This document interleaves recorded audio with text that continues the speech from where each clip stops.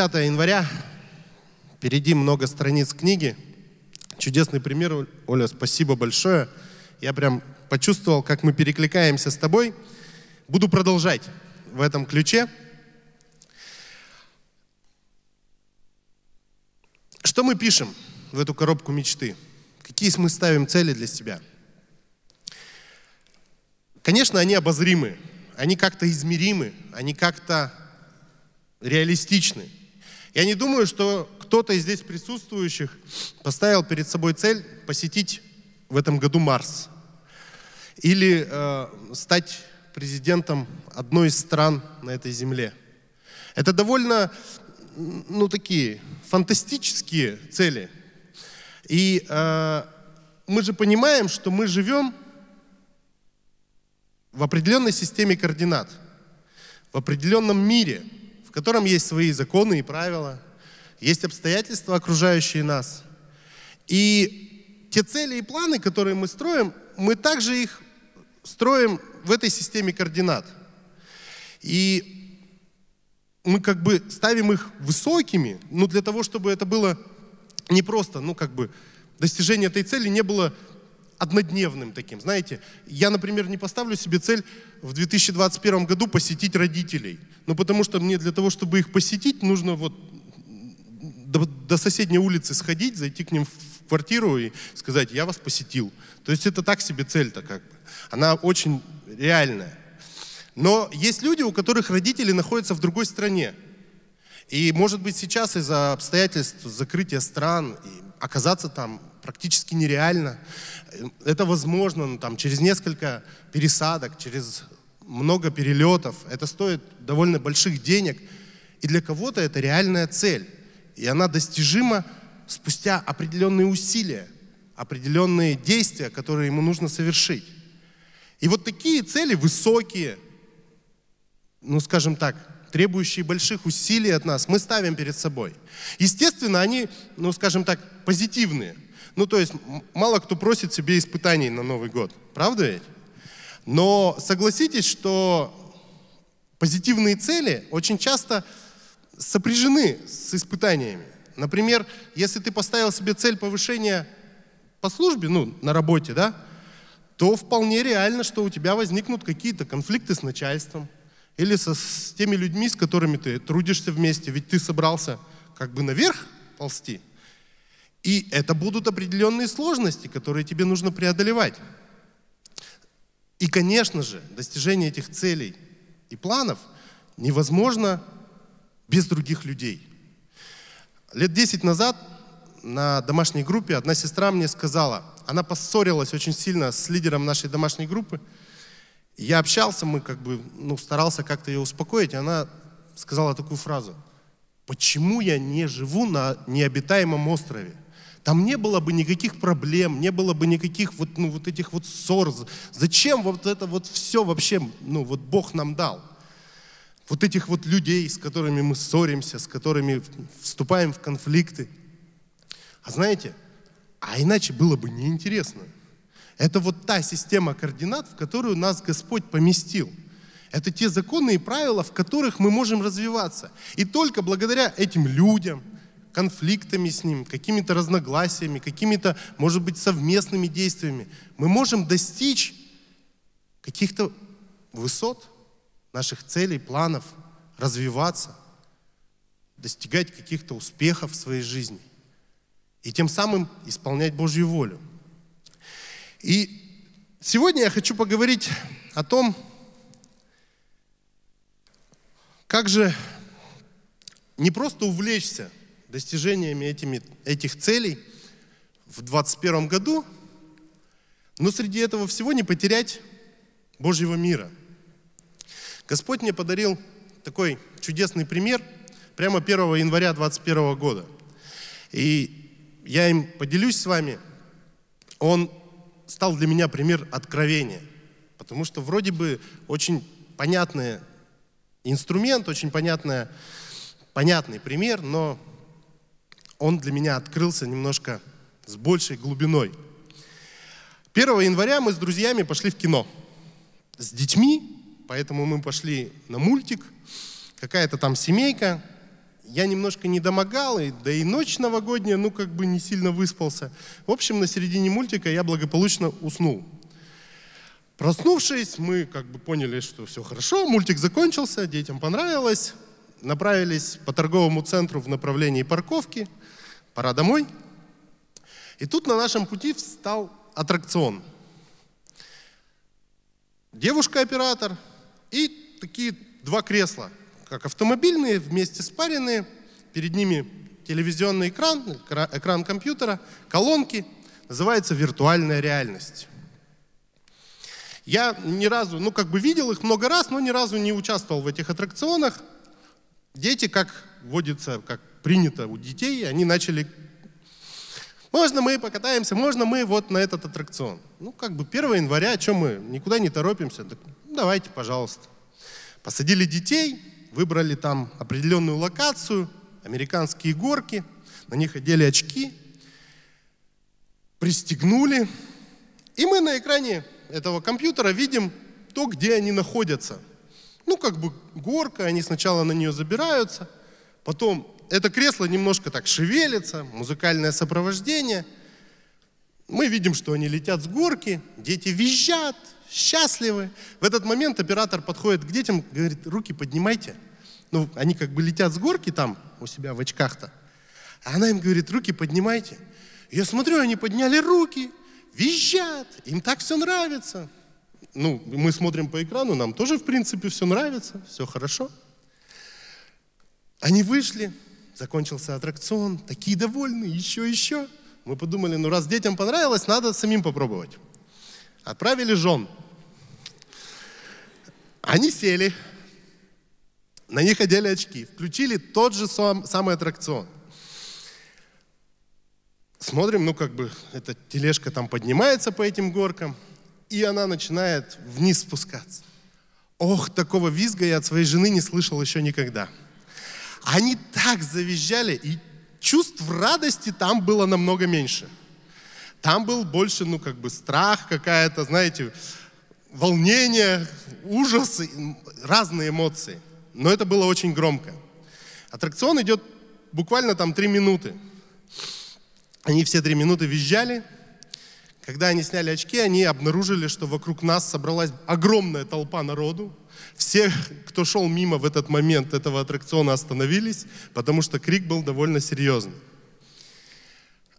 Ну, мы, наблюдая это все на экране компьютера, думаем, да ерунда какая-то, в общем, ну, что, как бы, мы здоровые мужики, что, нам-то нечего бояться. Мы решили пойти тоже. Сели, пристегнулись. И я как бы, ну, про себя такой думаю, ну, я же понимаю, что я сел на кресло в торговом центре, ну, кресло немножко пошатается. Ну, там звук какой-то из колонок сзади. Ну, в очках там какие-то горки. Ну, ничего же страшного нет. Мы поехали. Ну, пока эта тележка ехала вверх, как бы ощущения ну, нормальные, ты как бы понимаешь, что ты на кресле где-то все. Когда она поехала вниз, мысль о том, что ты на кресле в торговом центре, куда-то пропала. В один миг. И мы летим, и я, ну как бы, я, конечно, не кричал, как жена, но я так замолчал и думал, а что будет дальше? И понимал, что сейчас ко мне подойдет оператор и скажет, руки поднимай. Она подошла как раз и говорит, давай, давай, руки поднимаем. И я как-то в глубине сердца понял, что, ну я же видел вот только что детей, которые поднимали руки. И я как-то хочу даже, ну вот поднять руки, порадоваться. Но мой мозг просто категорически запретил мне это делать. Он вцепился просто в эти ручки, которые там были. И я кричал, ни за что. Три минуты закончились, мы сняли очки, спустились вниз. Дети кричали еще, еще, их посадили еще на какой-то другой аттракцион. Знаете, может быть из-за того, что я не выспался, там немножко не домогал. Я посидел на кресле в торговом центре. Чуть-чуть, меня чуть-чуть потрясло. Но, знаете, я почувствовал реальное недомогание в своем теле. То есть мне даже, ну, как бы стало плоховато. То есть, когда я спустился уже, такое ощущение, что тебя как космонавта в центрифуге покрутили, и ты этот тест не прошел. Конечно, ну как бы все было в пределах разумного, мне там не потребовалась помощь, садиться, но чувствовал я себя хуже, чем до того, как сел. Хотя со мной ничего не происходило. В принципе. Знаете, этот пример напомнил мне место из Священного Писания. Матфея, 18 глава, 3 стих. И я прочитаю вам в современном переводе. «Говорю вам истину, — сказал Иисус, — если вы не изменитесь и не станете такими, как маленькие дети, вы никогда не войдете в небесное царство. Поэтому, кто смирит себя и станет таким, как этот ребенок, тот и самый великий в небесном царстве. Общаясь с оператором, пока там наши жены визжали этого аттракциона, она сказала, что в принципе так и происходит. У детей мозг так работает, что они вполне реально осознают, что они сидят на кресле, и им не страшно поднять руки. Но со взрослыми практически всегда вот такая ситуация, как произошла с нами. Мы настолько погружаемся в эту виртуальную реальность, что воспринимаем ее достаточно реальной. Она воздействует на наш организм, воздействует на наш мозг. Все эти звуки, свет, там, эти вот движения кресла, они настолько воспринимаются нашим мозгом реальными, что мы начинаем в это верить. И, естественно, нам становится страшно, волнительно, наш организм как-то на это реагирует. Но вопрос-то остался. А как, как сделать так, чтобы быть как дети? Ведь, ну, если вы поняли, к чему я клоню, так мы в этом мире-то тоже как бы временно. И тоже те катаклизмы, обстоятельства, конфликты, взлеты и падения нашей жизни, они как бы, ну они, конечно, реальны, мы живем, но однажды они закончатся, игра закончится, и мы окажемся в гораздо более реальной реальности, небесной. И как не терять ее сейчас? Как осознавать, что вот все эти игровые моменты, они лишь игровые моменты. Ты поднимаешься, летишь вниз, снова поднимаешься. Есть какие-то законы, правила. Но на самом деле ты находишься в реальности на руках Небесного Отца.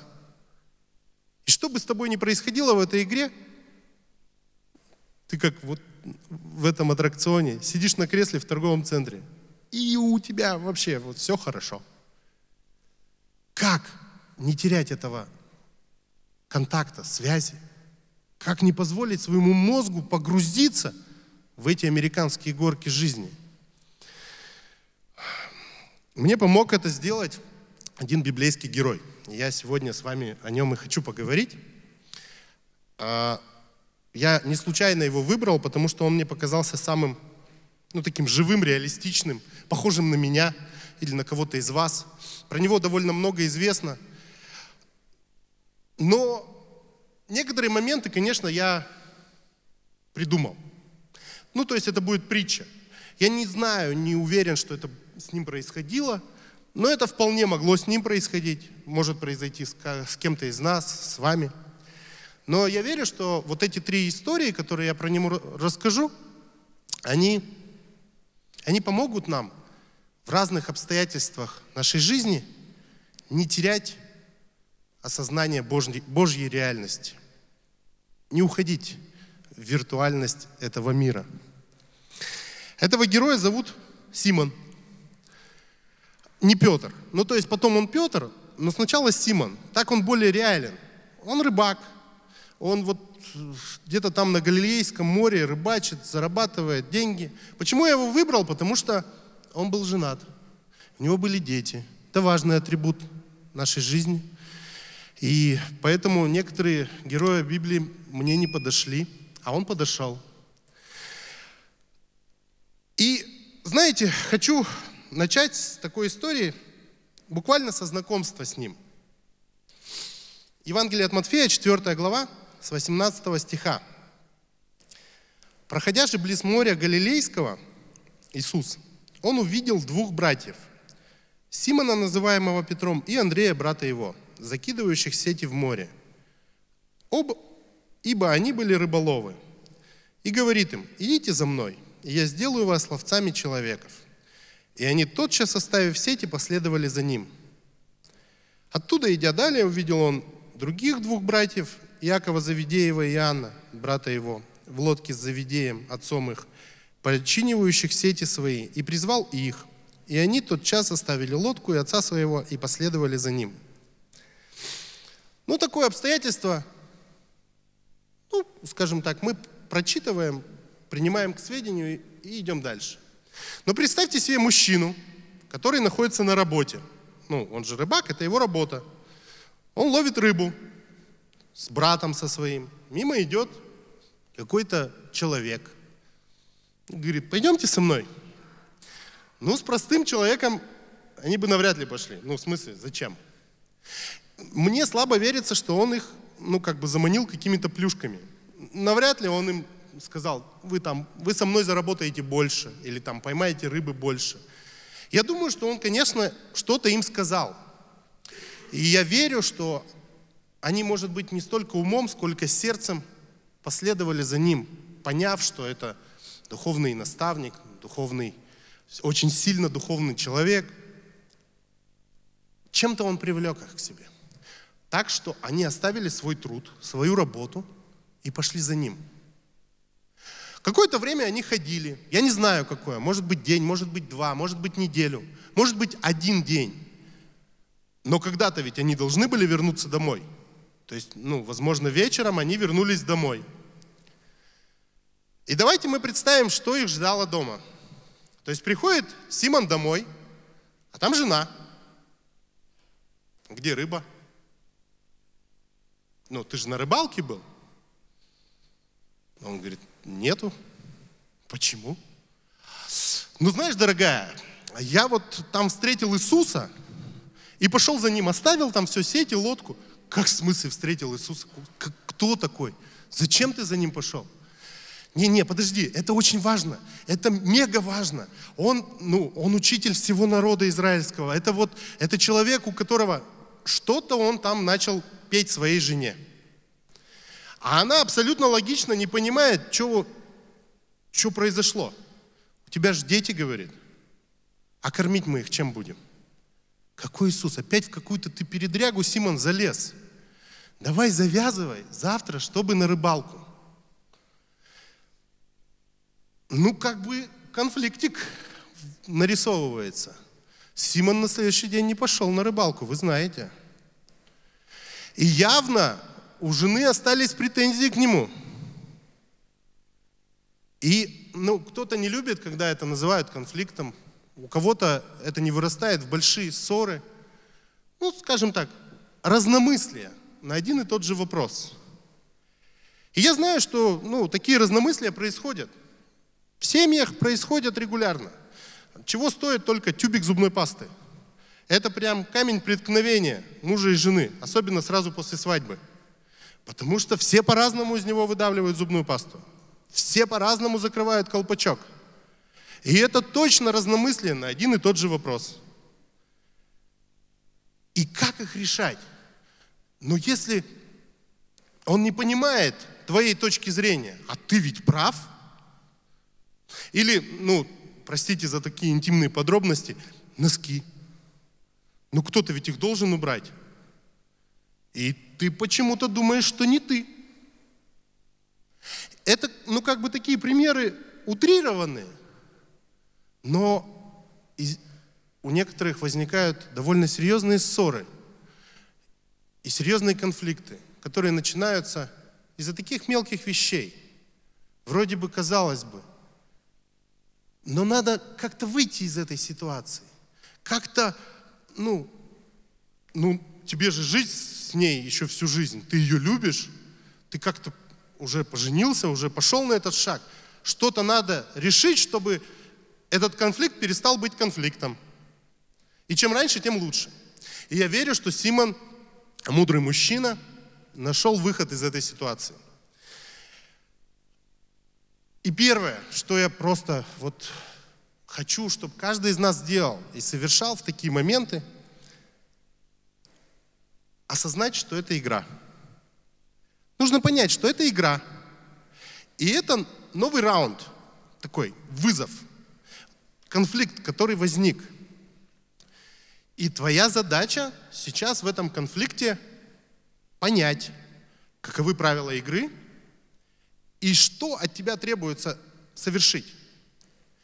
Знаете, хочется верить, что Симон именно так решил конфликт, как описано в Библии. Потому что спустя короткое время, Евангелие от Матфея, 8 глава, 14 стих, описаны следующие события. Иисус, придя в дом Петров, Петр, Симон, позвал Иисуса к себе домой. Иисус увидел тещу его, лежащую в горячке, и коснулся руки ее. Горячка оставила ее, и она встала и служила им. Слушайте, классный выход. Хочешь, чтобы жена встала на твою сторону, договорись с ее мамой. Нормально. А еще лучше помоги ей. Петр ради тещи привел Иисуса к себе домой. Исцелил ее, и она служила им. Ну, не, ну хороший же выход, согласитесь. Правила игры какие?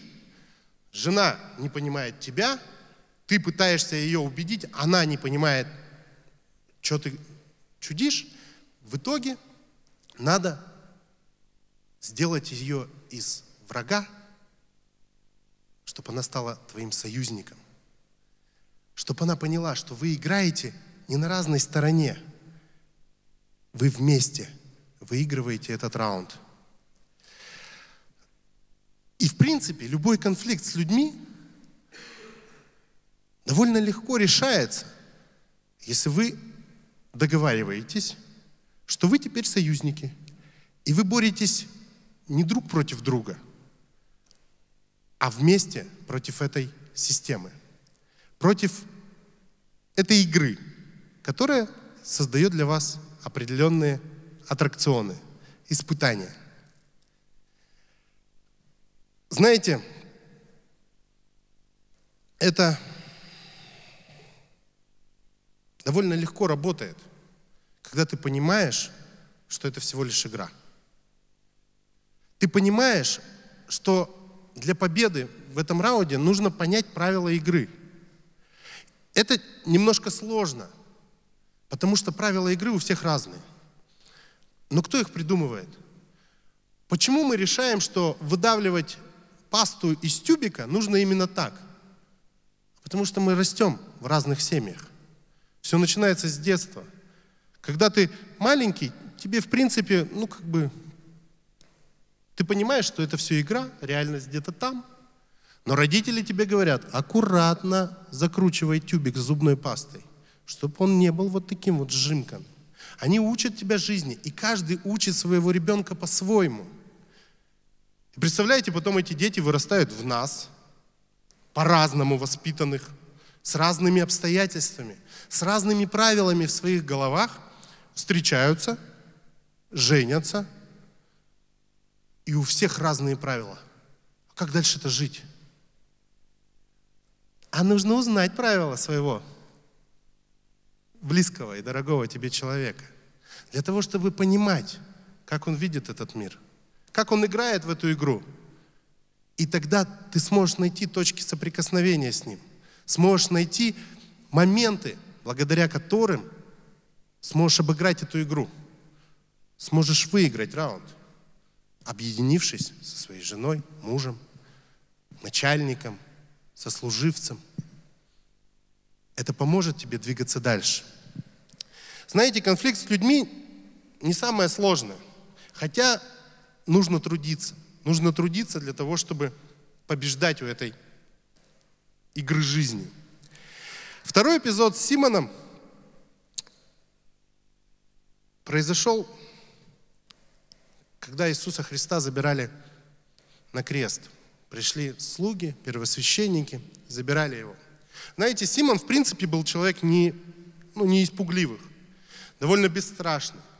Он очень смело вышел навстречу Иисусу из лодки, пойдя по воде. Он, выхватив меч, отрубил ухо слуге, когда Иисуса пришли брать. Иисус сказал, не нужно, не нужно ничьи жизни калечить. Но, как вы все знаете, Петр отрекся от Иисуса, когда его взяли. Иисус предсказал ему об этом, сказал, ты отречешься от меня, петух пропоет. Петр бил себя в грудь, сказал, нет, Господи, никогда в жизни не будет этого, не отрекусь от Тебя. Но вот это происходит. Представляете, как себя он чувствует?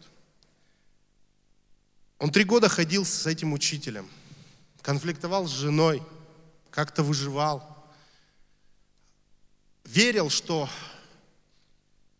эти вечные принципы, которым, которыми с ним делился Господь Иисус, они настолько важны для его жизни.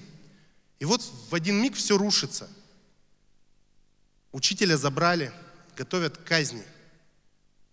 И ты вместо того, чтобы поддерживать его, отрекаешься от него. Просто предаешь его. Ты струсил, оставил его. И когда пропел петух, это все пришло в осознание Петра. Знаете, мы иногда ошибаемся. Мы оступаемся. Мы поступаем не так, как хотелось бы. Всегда найдется петух, который нам об этом напомнит. И знаете, это тоже игра. Важно понимать, что это тоже происходит в этой реальности, в игровой, в этой жизни. Да, ты оступился. Да, ты сделал не так, как хотел. Ведь ты хотел идти за Христом до конца. Но в какой-то момент взял и струсил.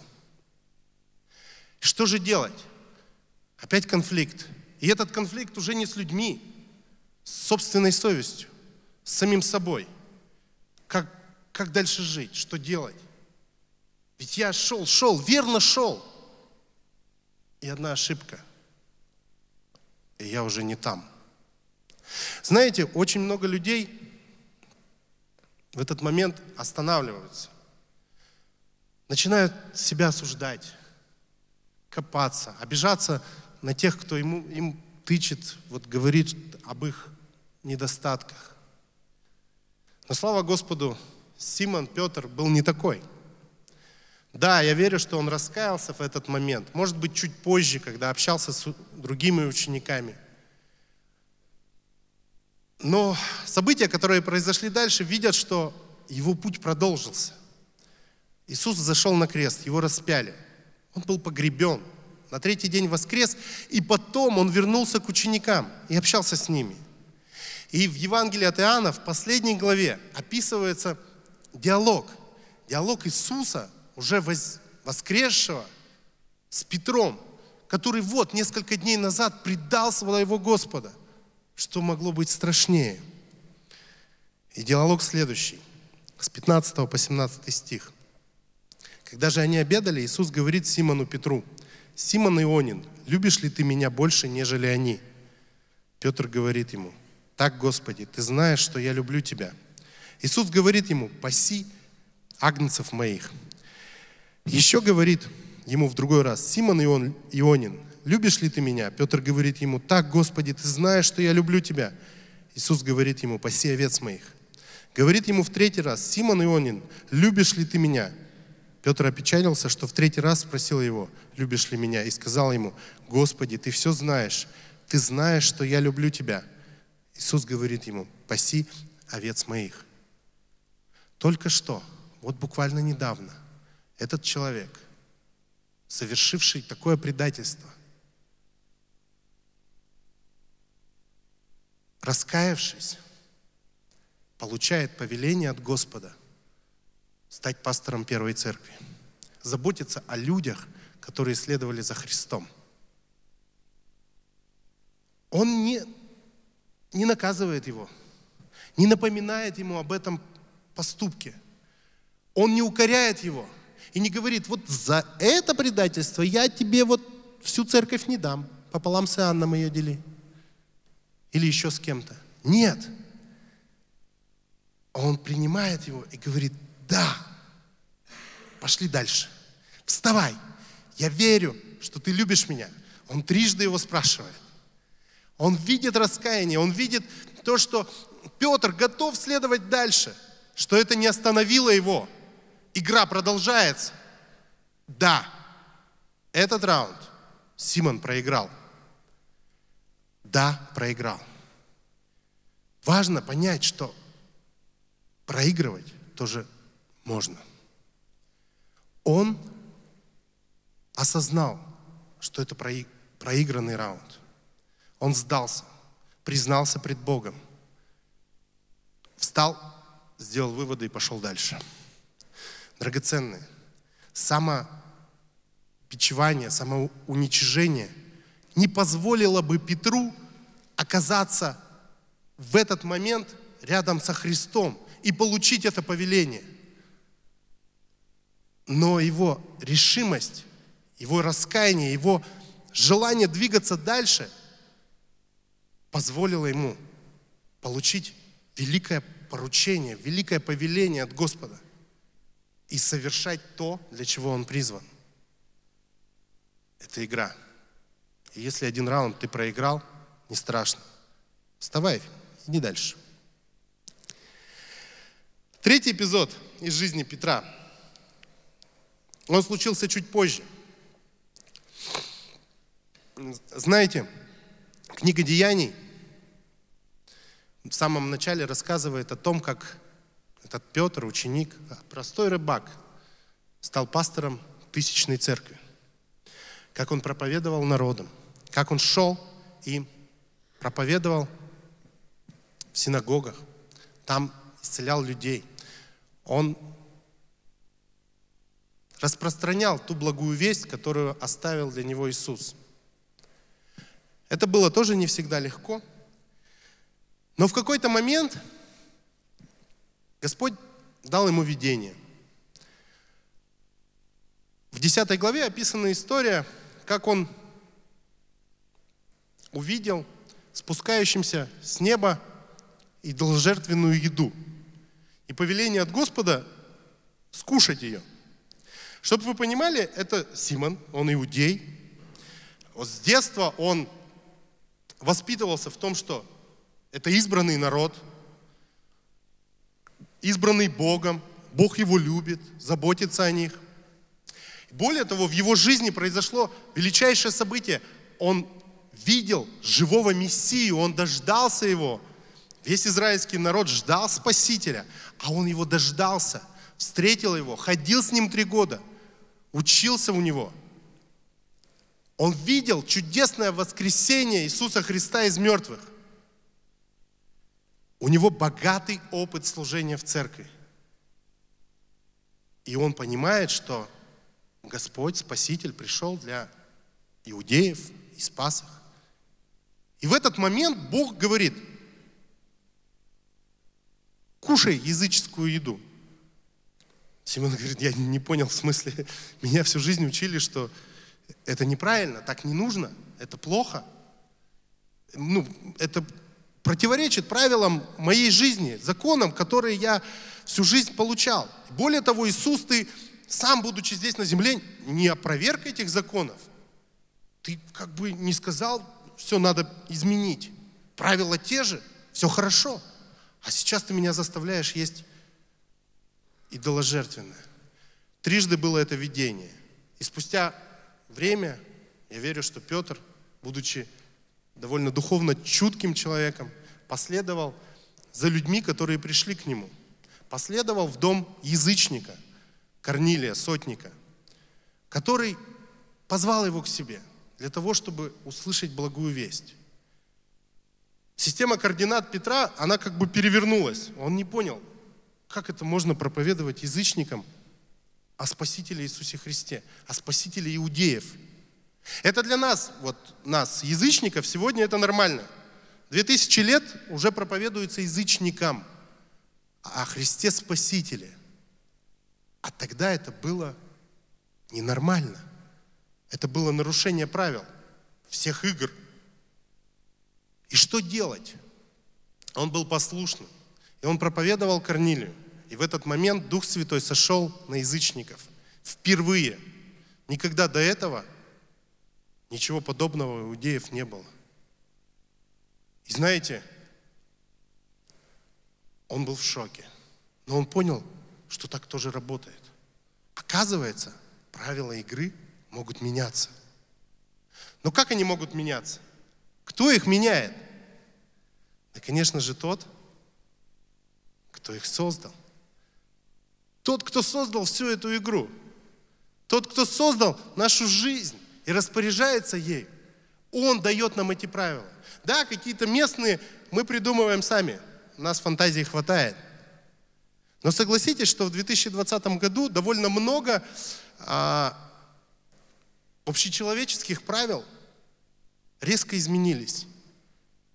Мы привыкли, что дети должны пять дней учиться в школе неделю. А тут бац, они в школу не идут. Правило нарушено. Мы привыкли, что мы должны работать где-то там на работе. Тут запрещают ходить на работу. Как так? Границы мира перекрыли. Так много правил поменялось в одно мгновение. Я верю, что этими правилами управляет Господь. Знаете, Он вправе менять те вещи, которые есть в нашей жизни. И от этого нам может казаться, что нас трясет – что у нас какие-то внеочередные конфликты с собой, с людьми или вообще нарушение правил. Но что же делать?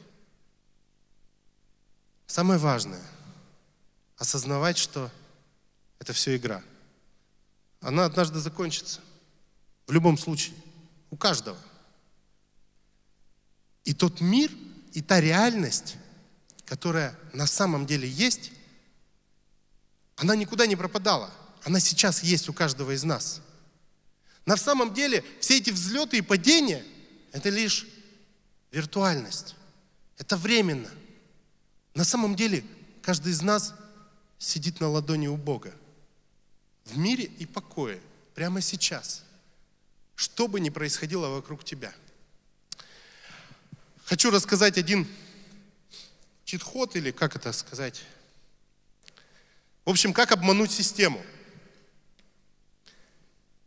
Когда наши жены спустились с этого аттракциона, кто-то из них сказал, я когда летела с горки, я закрыла глаза. А другая говорит, а что, так можно было? И я понял, что так можно было. Конечно, когда ты сознательно идешь на этот аттракцион, закрывать глаза, ну, неинтересно ты тогда как бы всю бурю эмоций не испытаешь.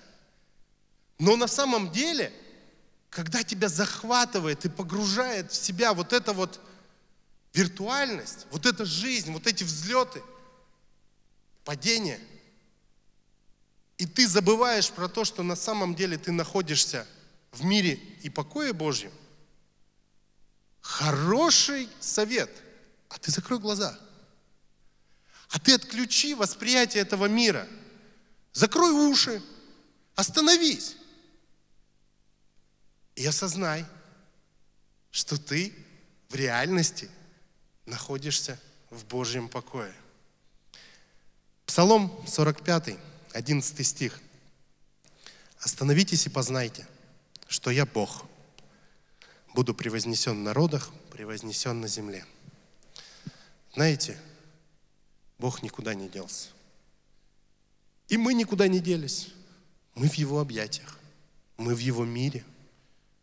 Мы в Его руках. Это реальность. Но то, что происходит в этом мире с нами, это хороший аттракцион. Классная игра. Нам нужно в нее поиграть. Нам нужно узнать правила, научиться выигрывать, научиться проигрывать иногда, научиться правильно реагировать, когда неожиданно меняются правила игры. Но так или иначе, это все равно игра. И она в нашем сознании, в нашем восприятии. Она кажется нам реальной, кажется нам настоящей, но настоящая реальность там, там, там, внутри нас, с Господом. Очень хочется, чтобы в этом году в гонке за нашими планами и целями мы могли понимать, что мы играем в чудесную игру. Могли поймать радость, наслаждение. Иногда, когда будет сложно, трудно, страшно, не побояться еще и поднять руки и визжать от радости. Потому что это все пройдет. Этот раунд закончится, игра закончится. Нам нужно ее проиграть. Нам нужно ее пройти, преодолеть все эти раунды, испытания, все года, которые Бог отмерил нам. Важно не забывать о том, где ты на самом деле. Не забывать про тот Божий мир, который более реален, чем эта жизнь для каждого из нас. Давайте помолимся. Дорогой Небесный Отец, мы приходим к Тебе, закрывая глаза, закрывая уши, останавливаясь в этом мире от той суеты, которая окружает нас. Да, она нам нравится. Нас увлекают события, которые происходят в нашей жизни. Нас увлекают разные мероприятия, вызовы, даже сложности. Не все признаются, но они нам нравятся, потому что без них наша жизнь была бы, ну, скучной. Господь, но мы не хотим окунаться с головой в эту суету, в эту виртуальность, в эту жизнь. Ведь она временна. Мы не хотим терять осознание того, что на самом деле мы в Твоих руках. Мы в Твоем мире. Мы непоколебимы в Тебе, в Твоих небесах. Господь, благослови наш, наши жизни, нашу игру. Научи нас играть.